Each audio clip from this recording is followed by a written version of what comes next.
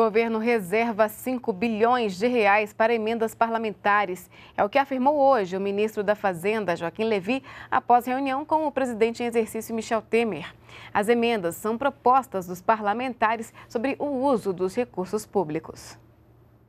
A expectativa de liberação dentro do, do próprio instituto lá das emendas impositivas dos 5 bilhões. Está reservado esse dinheiro, inclusive dentro da programação financeira, a reserva explícita é, desses recursos, tá certo? Esses recursos estão garantidos.